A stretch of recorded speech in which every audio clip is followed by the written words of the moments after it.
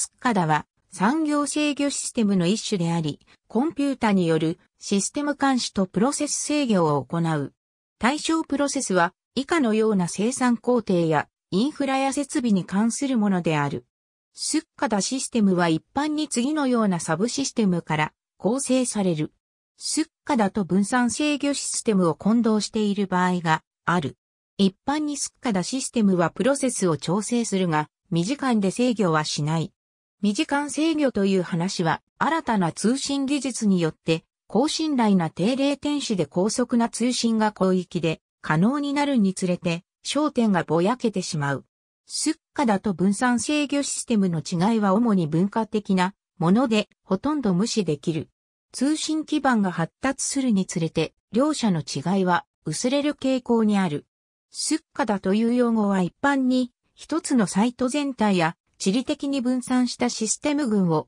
集中的に監視制御するシステムを指す。制御のほとんどは遠方監視制御装置、またはプログラマブルロジックコントローラが自動的に行う。ホストの制御機能は監督的な介入や優先的なものに限られることが多い。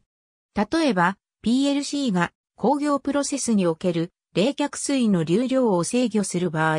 フィードバック制御ループ自体は ART や PLC でほぼ完結している。これに対し、スッカダシステムはそれらループの状態を監視するシステムという位置づけで、具体的には、スッカダシステムにより、オペレータが流量の設定値を変更できたり、警報発生条件を変更できたり、現在の状態をオペレータに対して表示し記録する機能を提供する。データ収集は ART や PLC のレベルで行われ、必要に応じてスッカダに送られる。スッカダでは収集されたデータを監視室のオペレータが見て、監督的決定を行えるような形にして提示する。データは普通のデータベース管理システム上に構築された履歴システムにも送られ、傾向などの分析に使われる。スッカダシステムでは通常、タグデータベースと呼ばれる分散データベースを実装している。これはタグ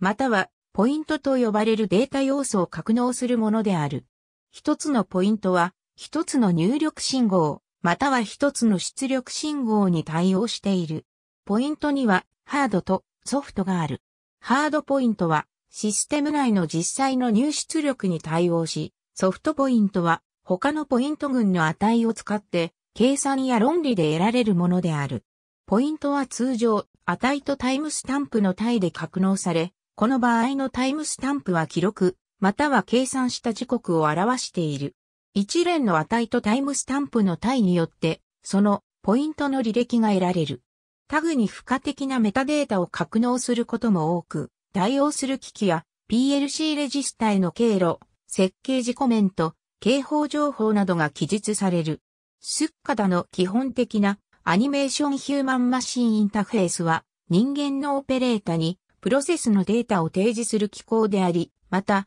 人間のオペレータがプロセスを制御する際にもそれを経由する。 HMI は通常 SCADA システムのデータベースやソフトウェアプログラムとリンクしており、傾向を見るためのデータや診断データ、保守手続きの予定などの管理情報、ロジスティック情報、特定のセンサや機械の詳細図、エキスパートシステムによるトラブルシューティングなどが提供される。ハミーはそれらの情報を操作者にグラフィカルに提示する。すなわち、制御対象のプラントの図解の形で提示される。例えば、ポンプとそれに接続されたパイプが図示され、ポンプの稼働状況やパイプの流量が表示される。オペレータはポンプを停止させることができる。パイプの流量の変化は未時間で示される。図解は機器の写真を使ったり、アニメーション化された記号を使うこともある。スッカダシステム用ハミーパッケージには、オペレータなどが図を修正できる描画プログラムが含まれることが多い。ハミーの図は単純なものから、超高層ビルの全エレベータの現在位置を示すとか、鉄道の全列車の現在位置を示すといった複雑なものまで様々である。多くのスッカダ実装で最も重要な点は、警報である。警報は何らかの状態値が異常になった時に発せられる。自動車の燃料タンクが空であることを示すライトも警報の一種である。警報を発する際には、電子メールが所定の管理者に送られることもある。スッカダは分散制御システムと共に構成されることが多い。マスタコンピュータの関与なしで自律的に単純な論理プロセスを実行できるアーティや PLC が使われることが増えている。アーティや PLC 上で動作するプログラムは IEC61131 から3で定義されている言語を使っていることが多い。C 言語やフォートランなどの手続き型言語とは異なり、IEC61131 から3は、リレーによる制御回路の記述に似せてあるため、この分野の人にとっては、訓練が少なくて済む利点がある。これによって、スッカダシステムの技術者は、アーティや PLC 上で実行される、プログラムの設計や実装も可能となっている。1998年頃には、ほぼすべての PLC 製造機、サードパーティ製のハミー、スッカダパッケージの多くは、各社の主な PLC と互換性があり、制御対象のシステムの技術者が直接ハミーを設定可能になっている。アーティは実際の装置と接続される。アーティはその装置から得た電気信号をデジタルの値に変換する。逆にデジタルなコマンドを電気信号に変換して装置に送ることでその装置を制御する。高品質のスッカダアーティは以下のような特性を持つ。監視制御ステーションとは各種装置と通信するソフトウェア及びサーバと制御室内のワークステーションなどで動作するファミー、ソフトウェアを総称したものである。小型のスッカダシステムでは1台のパ大規模なスッカダシステムでは複数台のサーバ上で分散ソフトウェアが動作し、災害リカバリー用の別サイトも用意される。システムの保全性を高めるため、各サーバを上長構成、またはホットスタンバイ構成にし、サーバ故障時にも連続的な制御や監視が行えるようにすることが多い。かつてはユニックスやオパンベムズが使われることが多く、Linux などはあまり使われなかったが、最近では主要なオペレーティングシステムがサーバにもハミーワークステーションにも利用可能となっている。運用方針、編集実際の運用では、制御システムの障害が多大な損失を生じることがある。場合によっては人命に関わることもある。スッカダ用ハードウェアは温度変化、振動、電圧変動などに耐性があるものが使われるが、特に信頼性を要求される場合は、ハードウェアや通信路を上長化し、場合によっては制御センターそのものを複数用意する。故障した箇所は素早く特定され、その機能はバックアップハードウェアで即座に代替される。故障箇所はプロセスを止めることなく交換可能となっていることが多い。このようなシステムの信頼性は統計的に故障までの時間で表される。高信頼システムの平均故障間隔は数百年のオーダーになることもある。スッカダシステムの通信には従来から無線やシリアル通信が使われてきたが、鉄道や発電車などの大規模なサイトでは、ソネット、SDH 上の IP やイーサネットも使われる。スッカダシステムの遠隔管理、監視機能はテレメトリと呼ばれることがある。スッカダのデータを既存の企業内ネットワークを使って転送するとか、他のアプリケーションとネットワークを共有させるといった動きもある。しかし、初期の低帯域のプロトコルも未だに使われ続けている。スッカダのプロトコルは非常にコンパクトに設計され、マスタ側がアーティに要求しないと情報が送信されないようになっている。古くからあるスッカダプロトコルとしては、モッドバス、RP-570、プロファイバス、コニテルなどがある。これらはいずれもベンダー固有の通信プロトコルである。標準プロトコルとしては、IEC6087051001、または104、IEC61850、DNP3 がある。これらは主要な業者の多くが採用している。これらのプロトコルの多くは、拡張として TCP、IP 上での運用が可能になっている。セキュリティを考慮して、スッカダシステムはインターネットに接続しないことが多い。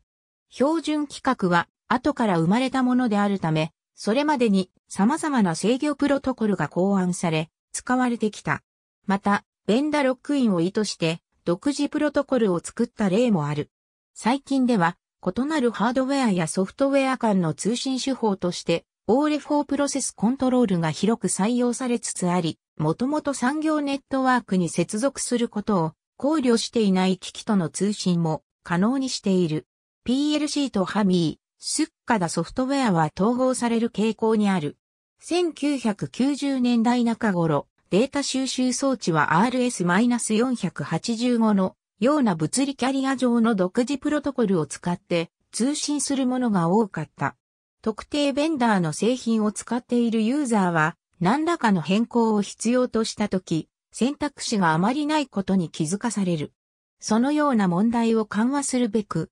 IEC870 から5から101、104や DNP3.0 といったオープンな通信プロトコルの採用が広がっていった。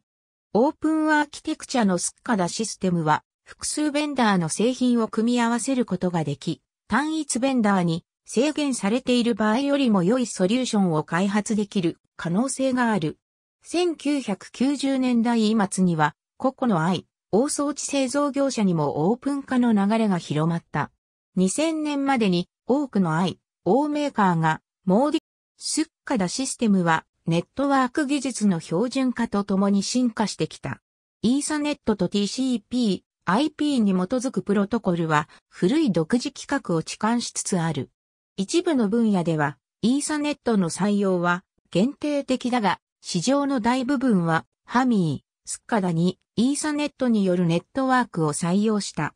OPC、UA、Wonderware の ArchestrA、ロックウェルオートメーションの FactoryTalk などの次世代プロトコルは XML、ウェブサービスなどの最新ウェブ技術を活かしたものとなっている。ソフトウェア業界でソフトウェアーズ、A サービスの考え方が生まれ、インターネット上の遠隔プラットフォーム上で、スッカダシステムのホスティングをするベンダーが出現している。これは、ユーザーがシステムをインストールして設定する必要をなくすもので、インターネット技術としてすでにある VPN や SSL といったセキュリティ機能を利用する。しかし、セキュリティ、信頼性、レーテンシを問題視する向きもある。スッカダシステムはますます偏在するようになっている。新クライアント、ウェブポータル、ウェブベースの製品が主要なベンダーで一般化しつつある。遠隔からプロセスを監視でき、便利にはなったが、セキュリティ上の懸念も増大している。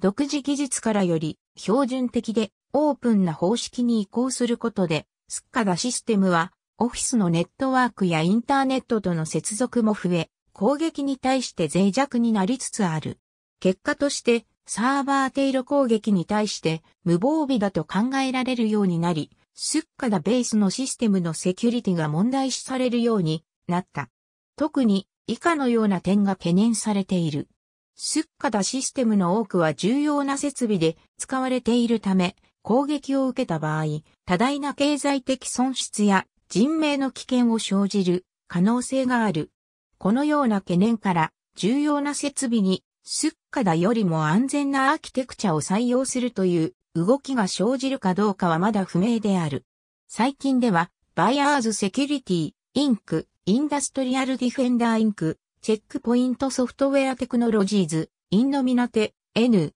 ディメンションソリューションズといった複数のセキュリティベンダーが TCP、IP ベースの SCADA ネットワークのためのファイアウォールや VPN を開発することで、こういった問題に対処を開始している。また、イサセキュリティコンプライアンスインスティチュートは早ければ2009年にもスッカダセキュリティテストを策定開始する予定である。ベンダーによるセキュリティ認証はすでに2007年頃から行われている。最終的には、一切 SP99WG4 が標準化を行う予定だが、完成するのは2011年以降になる。ありがとうございます。